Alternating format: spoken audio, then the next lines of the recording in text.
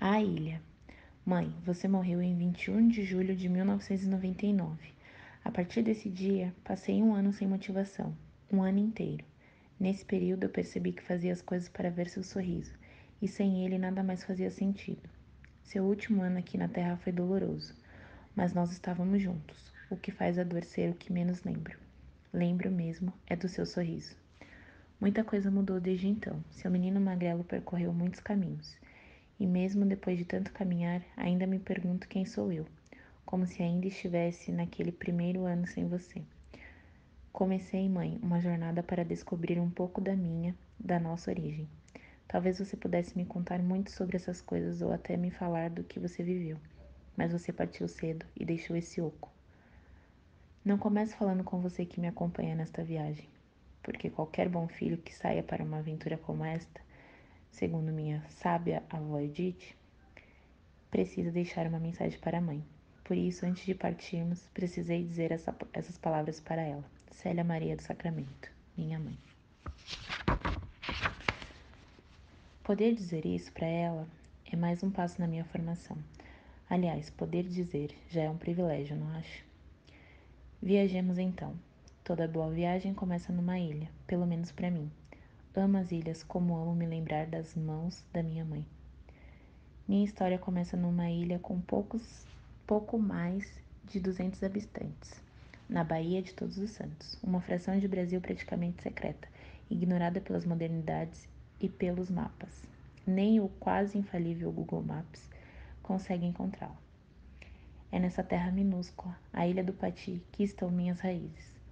O lugar é um distrito de São Francisco do Conde, município a 72 quilômetros de Salvador, próximo a Santo Amaro, e conhecido por sua atual importância na indústria do petróleo.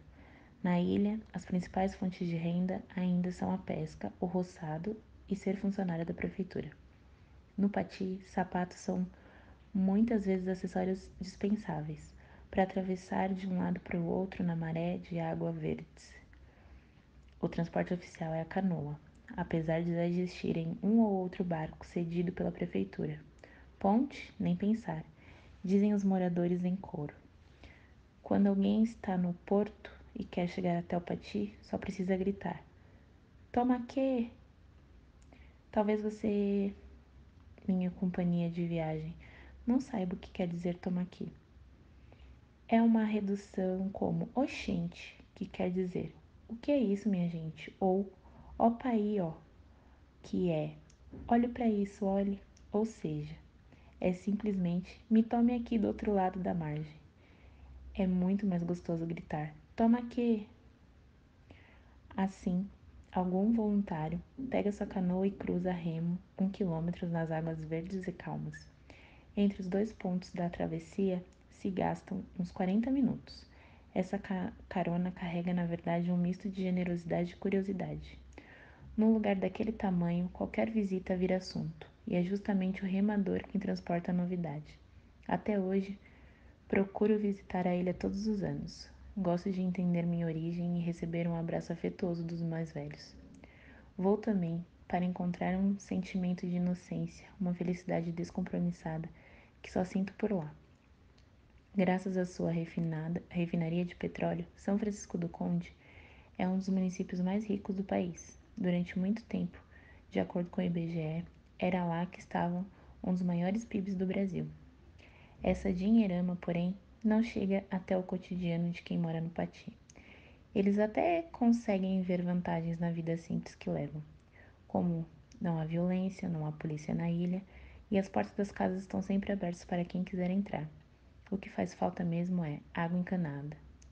Para tudo dar descarga nos banheiros, lavar pratos e roupas, tomar, tomar banho.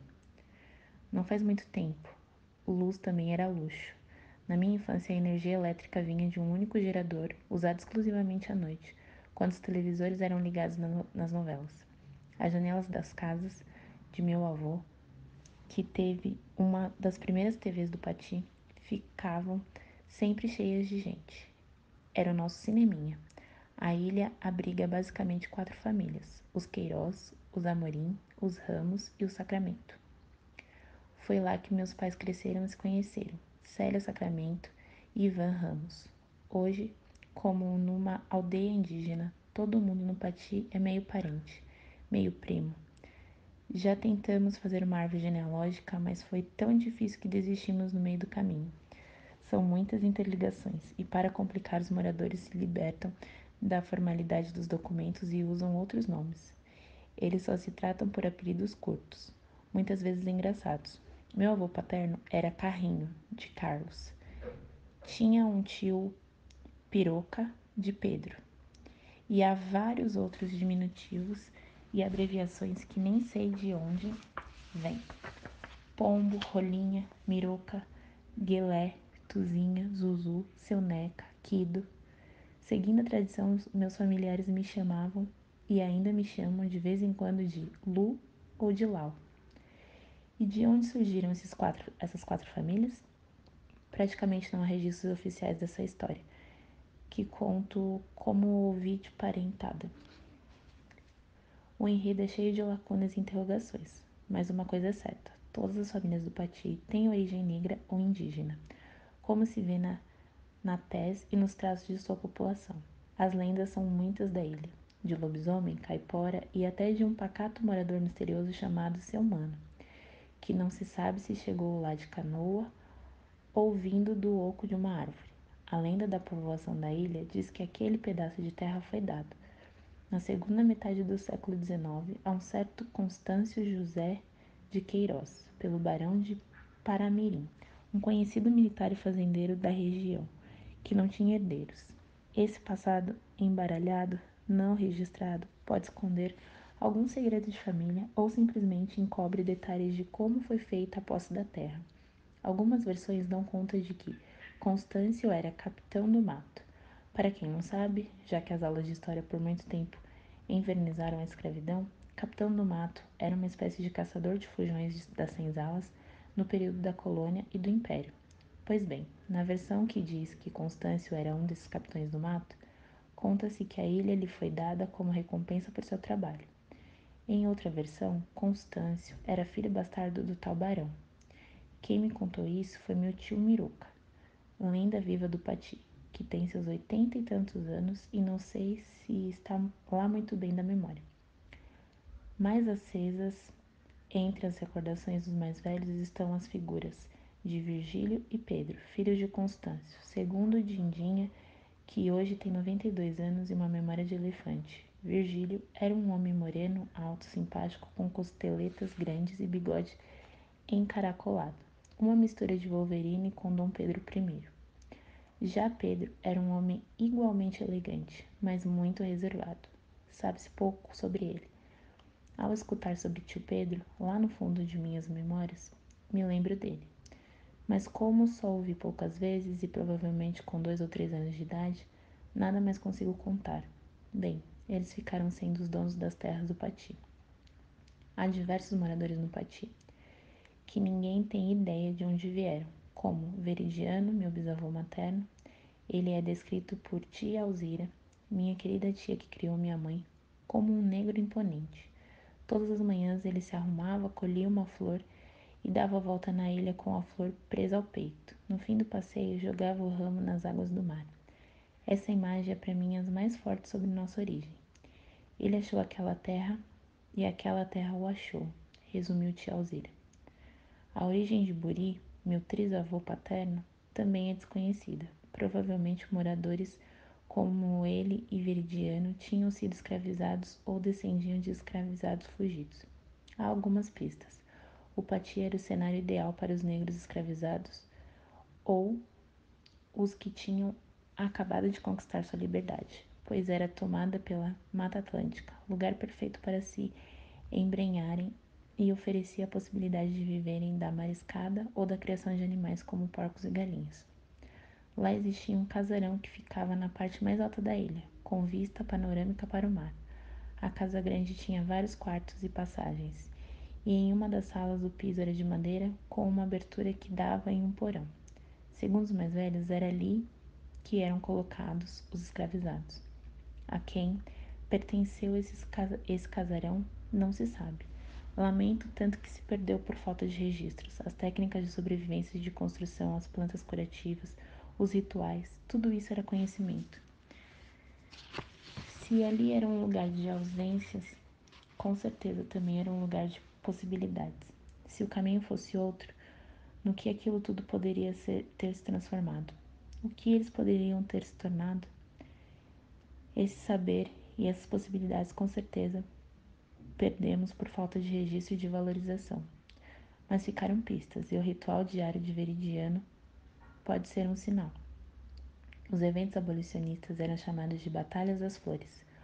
O quilombo de Leblon, por exemplo, instituiu a camélia como símbolo anti-escravista. Quem defendia a libertação dos escravos usava camélias na lapela, e assim os fugitivos podiam identificar ajuda nas ruas. Muitas personalidades imponentes como Rui Barbosa usavam a flor ou a cultivavam no jardim de suas casas, como forma de protesto. Nunca terei certeza se esse era o caso de Veridiano, mas quem sabe? Observem que os imigrantes europeus geralmente sabem descrever com detalhes suas histórias e erguem museus para descrever a memória de seu povo. Onde estão a valorização e a preservação da nossa? Zebrinha, meu mestre artístico de vida, que me ensinou muito sobre ser um homem correto, ser negro, ser artista e que, por acaso, é coreógrafo do bando e padrinho da minha filha, Zebrinha, meu colo, meu colo e meu alento nas horas de desespero. Zebrinha me disse que às vezes nossos mais velhos tinham vergonha de seu passado, por causa de seu sofrimento. É por isso que nossa história fica com essas brechas. Pati se escreve assim, com Y mesmo graças a um coqueiro bipartido que ficava no quintal da casa da tia Alzira e acabou virando ponto turístico. Talvez algum dia tenha sido com I, não sei. O coqueiro também era a logomarca das canecas dos festivais de chopp que aconteciam na ilha nos anos de 1980. Me lembro bem. O clima do Pati sempre foi lúdico e divertido, e a religiosidade é outro traço importante de seu cotidiano. O padroeiro dos moradores é São Roque. Tudo começou quando uma doença de pele se espalhou pela ilha, e eles prometeram ao santo que seria erguida uma igreja em sua homenagem se o surto desaparecesse. E assim foi feito. Apesar de a capela ser católica, as cerimônias têm certa influência africana, principalmente o som da percussão acompanhando as músicas. No sincretismo, São Roque é o orixá Omolu, e essa presença de percussão e de atitudes não católicas é naturalmente do candomblé. Quando criança, eu achava as missas tão animadas que certa vez gritei entre uma oração e outra: Padre, toca uma lambada! Todo mundo caiu na gargalhada. A igreja de São Roque é até hoje meu lugar predileto do Pati. Não exatamente por, por motivos religiosos, mas pelas memórias que guardo de seu entorno. Como está afincada no alto de um morro, distante dos olhos dos adultos, era para lá que a criançada gostava de ir para namorar ou comer mococona e pitomba, roubadas do quintal de alguém. Eu não sei se há outros nomes para essas duas frutas que provavelmente você nunca viu e talvez nunca veja. A mococona é verde, tem uns três caroços encobertos por uma casca e é pequena. A pitomba é uma frutinha às vezes verde, às vezes roxa. Para chegar até a igreja era preciso passar pela casa de Dona Duda, a única moradora branca da ilha. Curandeira, ela despertava uma curiosidade enorme em mim. Será que vou ver alguém incorporado quando passar pela sua porta? Ficava pensando. Hoje o caminho está muito mudado. Dona Duda já morreu faz tempo e a igreja ganhou concorrência no morro em frente. Foi erguida uma Assembleia de Deus. Pois então, todos os anos do mês de setembro, a turma do Pati se reunia para comemorar o dia de São Roque. Era um grande acontecimento entre os parentes, inclusive os que já tinham se mudado do Pati. Passávamos o fim de semana na festa do mangue, catando siri, caranguejo, befum, um tipo de vongolê, e ostra, que eu e meu pai comíamos direto da pedra, temperando apenas com limão. Na casa em que meu avô Carrinho e minha avó Edith moravam, faltava espaço para acomodar tanta gente. O jeito era arrumar um colchãozinho embaixo da mesa, uma rede do lado de fora, dividir uma cama de casal com mais quatro. Inúmeras vezes eu dormia assim, com vários primos e primas ao lado. Fazíamos uma bagunça. À noite, nossa grande diversão era contar histórias em roda, como uma roda griot, africana.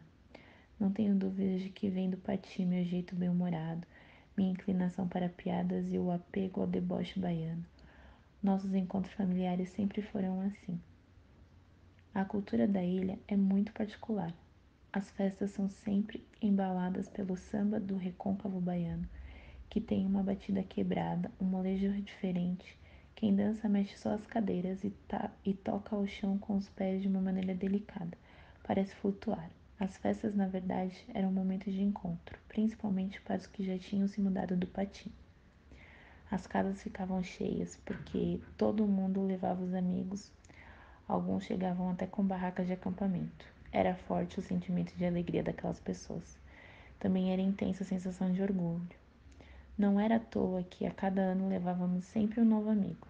Hoje eu definiria essas festas como uma espécie de representação de pertencimento, pois era um, momento em que nos organizávamos e celebrávamos nossas raízes. Para que a comissão organizadora da festa de setembro pudesse conseguir dinheiro, realizava-se um leilão. Cada morador oferecia um brinde, que podia ser desde uma bandeja de peixe frito até um eletrodoméstico ou outro objeto qualquer. Além disso, havia o chamado livro de ouro, em que cada um assinava o valor que podia oferecer, e assim a festa era viabilizada. A festa mais criativa que os moradores já inventaram chamava-se Comédia. As primeiras edições foram organizadas quando meus avós eram adolescentes. Infelizmente, a última aconteceu em 2001. As músicas compostas para a comemoração eram populares, até meio ingênuas. Cantava-se em homenagem às flores, às frutas, aos meses do ano. Hoje, mais velho, vejo que aquela era uma forma intuitiva de registrar o patrimônio natural e histórico do Pati. Em um dos números musicais batizados de Paparutas, nome que deve deve derivar de papá, comida. As mulheres preparavam receitas típicas da Bahia, como vatapá, caruru e mungunzá. Depois dançavam com as panelas na cabeça e exaltavam as qualidades dos ingredientes da receita. Ao final, todo mundo comia. Era uma delícia. Foram várias gerações de paparutás. Minha tia-avó, minha mãe Célia e muitas primas participavam, participaram da encenação. Outra música da média que volta e meia relembro é a do feio. A letra fala de um homem que se chamava de feio e agradece. Era assim: Você é feio, muito obrigada. Você é feio, muito obrigada. Um belo dia eu fui ao barbeiro mandar fazer a barba e cortar o meu cabelo. O barbeiro olhou para minha cara e disse: Não corto, não. Mas que sujeito feio, você é feio, muito obrigado. Não sei quem é o compositor, mas acho essa letra sensacional. É uma forma inteligente e engraçada de abordar o tema da autoestima. Na ilha, ser negro não era uma questão, com sua população majoritariamente parecida comigo. O Pati me deu a possibilidade de não ter de pensar nesse assunto, pelo menos não muito cedo. Nasci em 1978, quando o Black is Beautiful norte-americano já tinha desembarcado no Brasil e ganhava força em Salvador. Quatro anos antes, o Ileaie foi formado na Liberdade, bairro da capital baiana conhecida por sua população predominantemente negra. Levando orgulho das raízes africanas para o carnaval e com uma conexão que me alimenta, o Ileaie foi fundado em 1 de novembro, que é a data do meu aniversário. Quatro anos separaram o meu nascimento do surgimento desse bloco afro que canta a beleza negra. Para mim, uma conexão muito forte para ser ignorada. Quando eu tinha entre 8 e 10 anos, o carnaval por vezes me assustava, provavelmente porque eu ficava do lado de fora das cordas no meio da pipoca, mas também me trazia uma sensação de pertencimento, mesmo quando suas cordas e camarotes me diziam que aquela festa não era tão minha assim. Eu me encontrava na alegria e no entrosamento das pessoas que caminhavam pelas avenidas em voltas em mortalhas e confetes. Minha mãe, sempre que podia, me levava para ver a folia. Colocava um colar havaiano no meu pescoço e um mamãe sacode em minhas mãos. E lá ia eu, não tão animado com a festa, mas muito atento à alegria da minha mãe por estar comigo celebrando o começo de um novo ano. Como vocês sabem, o ano só começa depois que o rei Momo permite. Aos 12 anos, fui, anos fui levado por meu pai para o Campo Grande, na área central onde os blocos passavam. Lá, entre muito suor, cerveja, beijos e colares de Lugante, algo penetrou minha pele sem que eu notasse. Tímido, eu não me permitia dançar. Acompanhada do meu pai, que também era tímido, nem um saculejo saía. Olhávamos os blocos, ele com uma latinha de cerveja, eu com geladinho, ou sacolé, Big Ben, picolé de saco, legalzinho, chup-chup, ou brasinha, depende de onde você mora. Foi nesse dia que ouvi algumas das músicas que me fizeram ter um pouco mais de amor por mim mesmo. O Ileaê passou e cantou. Me diz que sou ridículo, nos teus olhos sou mal visto. Diz até tem uma, que tenho uma índole, mas no fundo tu me achas bonito, lindo, Ileaê. Todo mundo é negro, de verdade é tão escuro que percebo a menor qualidade. E se eu tiver barreiras? Pulo, não me iludo não. Com essa de classe no mundo. Sou um filho do mundo, um servo vivo de luz e lê de luz. E o bloco emendou com outra, no repicar dos tambores. Não me pegue não, não, não, me deixe à vontade. Não me pegue não, não, não, me deixe à vontade. Deixa eu curtir o ilê, o charme da liberdade. As cores amarelo, vermelho, branco e preto nas roupas me fizeram que fizeram meus olhos lacrimejarem, agora eram minhas cores também. Como a música dizia, já queria ficar à vontade. Outra cerveja para o meu pai, um pirocóptero para mim, e eis que surge o cantor Jerônimo, puxando a plenos pulmões. Eu sou negão. E a multidão respondia: Meu coração é a liberdade. Eu gritei também: Meu coração é a liberdade. Naquela época, apesar da autoestima que minha família nos deu, não gritávamos a plenos pulmões que éramos negros. Dizíamos: A gente que é assim. Eu sussurrei: Meu coração é a liberdade. Várias vezes enquanto caminhava de volta para casa com meu pai. Fiquei muito tempo sem voltar a sair no carnaval, mas esses gritos de afirmações que até então eu nunca tinha escutado não saíram mais da minha cabeça. Acionei o pirocóptero e voei com ele. Voltando à ilha, apesar da proximidade geográfica, o Pati continuou distante dessas manifestações dos movimentos negros e dos significados de bloco como ele é aí. Sem dúvida existia uma proteção naquela vida. Não que a rotina dos moradores fosse fácil, longe disso. Pescar e plantar debaixo de sol a pino, viver com pouquíssimos recursos, levar horas para chegar até um hospital, todos esses eram e ainda são obstáculos diários. Por outro lado, não era preciso enfrentar um anúncio de emprego que exigia boa aparência. Nos anos 70, todo negro sabia o que essa expressão queria dizer. Na ilha, o conceito de beleza era o nosso. Cresci com a minha mãe e minhas tias dizendo que eu era lindo. Não tinha ideia se seria discriminado ou se as minhas escolhas ficariam mais difíceis por causa da cor da minha pele. O que eu entendia eram as limitações de uma família com pouco dinheiro. Em geral, todo mundo tinha o sonho de trabalhar na indústria de petróleo da região. Ir além dessa ilha parecia difícil. Outros limites também se mostravam quase impossíveis de ultrapassar. Eu me perguntava, criança de algum dia eu me perguntava criança se algum dia andaria de avião, ou se era possível comprar para fazer uma feijoada mais de uma calabresa. Sei lá qual tipo. Nós chamávamos toda a linguiça de chouriça. Parece piada, mas só descobri a distinção recentemente de adulto. Na minha casa comprava-se uma só chouriça, que era dividida entre toda a família. Dava uma rodelinha para cada um. Por muito tempo, já morando no Rio de Janeiro, eu nem cogitava comprar duas, três unidades do embutido suíno. Só aos 31 anos percebi que essa regra da calabresa não existia. Estava na minha cabeça. São marcas que ficam gravadas como tatuagem e nem sempre percebemos qual é o seu efeito em nós. Por isso digo sempre aos meninos e meninas que têm origem parecida com a minha. Não há vida com limite pré-estabelecido. Seu lugar é aquele em que você sonha estar.